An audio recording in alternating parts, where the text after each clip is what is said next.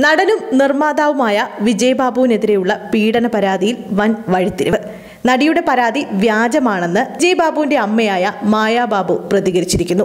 ഇത് സംബന്ധിച്ച് അന്വേഷണം ആവശ്യപ്പെട്ട് അവർ പരാതിയുമായി നീങ്ങിയിട്ടുണ്ട്. മായാബാബു മുഖ്യമന്ത്രി പിണറായി വിജയനും ഡി ജി പിക്കുമാണ് ഇതാവശ്യപ്പെട്ട് പരാതി നൽകിയിരിക്കുന്നത്. ഇത് മകനെതിരെ നടി ഉന്നയിക്കുന്നത് വ്യാജ പരാതിയാണെന്നും ഇതിന് പിന്നിൽ എറണാകുളം കേന്ദ്രീകരിച്ച് പ്രവർത്തിക്കുന്ന ഒരു സംഘം സിനിമാ പ്രവർത്തകരുമാണെന്നാണ് മായയുടെ പരാതിയിൽ ആരോപിക്കുന്നത്. മകനെ അപകീർത്തിപ്പെടുത്താൻ ഗൂഢാലോചന നടന്നിട്ടുണ്ടെന്നും ഇവർ പറയുന്നുണ്ട്. ഇതേ സമയം തന്നെ വിജയ് ബാബുവിന് സോഷ്യൽ മീഡിയയിൽ വളരെയധികം ക്രിറ്റിസിസമാണ് നേരിടേണ്ടി വരുന്നത്.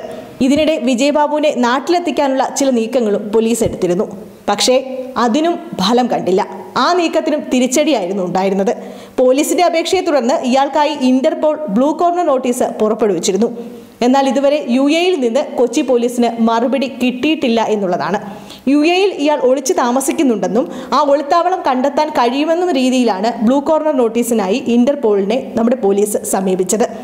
പക്ഷേ വിജയ് ബാബു അവിടെ എത്തിയ കാര്യം യു എ ഇ എംബസിയിലും പോലീസ് അറിയിച്ചിട്ടുണ്ടായിരുന്നു.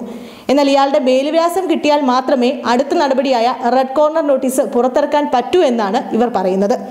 റെഡ് കോർണർ നോട്ടീസ് പുറപ്പെടുവിച്ചാൽ ബന്ധപ്പെട്ടയാളെ നാട്ടിലേക്ക് കയറ്റി അയക്കാൻ അവിടുത്തെ പോലീസ് നിർബന്ധിതരാകും. എന്നാൽ മേൽവിലാസം കിട്ടാത്തതുകൊണ്ട് ഈ നടപടിയിലേക്ക് കടക്കാൻ കഴിഞ്ഞിട്ടില്ല എന്നാണ് പോലീസിന്റെ വാദം. ഇതിനിടെ കേസുമായി ബന്ധപ്പെട്ട് മുപ്പതോളം പേരുടെ മൊഴിയും രേഖപ്പെടുത്തിയിരുന്നു. പരാതി ഒതുക്കി തീർക്കാൻ പ്രതി രഹസ്യമായി ശ്രമിച്ചു എന്ന് ആരോപണം ഉയർന്നിരുന്നു. എന്നാൽ ഇത് തെറ്റാണെന്ന് കമ്മീഷണറും ഇടയ്ക്ക് വ്യക്തമാക്കി. വിജയബാബുവിനെ കുറിച്ചുള്ള വിവരങ്ങൾ രണ്ട് ദിവസത്തിനകം ലഭിക്കുമെന്നാണ് പോലീസ് പറയുന്നത്. ഇന്റർപോളിന്റെ സഹായത്തോടെ റെഡ് കോർണർ നോട്ടീസ് പുറപ്പെടുവിക്കാനുള്ള എല്ലാ നടപടികളും ഇപ്പോൾ പുരോഗമിക്കുകയാണ്. കൊച്ചി സിറ്റി പോലീസ് വിദേശ മന്ത്രാലയം വഴിയാണ് ഇന്റർപോളിന് അപേക്ഷ നൽകിയത്. അതേസമയം വിജയബാബുവിന്റെ മുൻകൂർ ജാമ്യാപേക്ഷ പതിനെട്ടിനാണ് ഹൈക്കോടതി പരിഗണിക്കുന്നത്. ഇതിലെ തീരുമാനം അറിയുന്നതുവരെ ഒളിവിൽ കഴിയാനാണ് വിജയബാബുവിന്റെ നീക്കമെന്നാണ് പോലീസ് സംശയിക്കുന്നത്.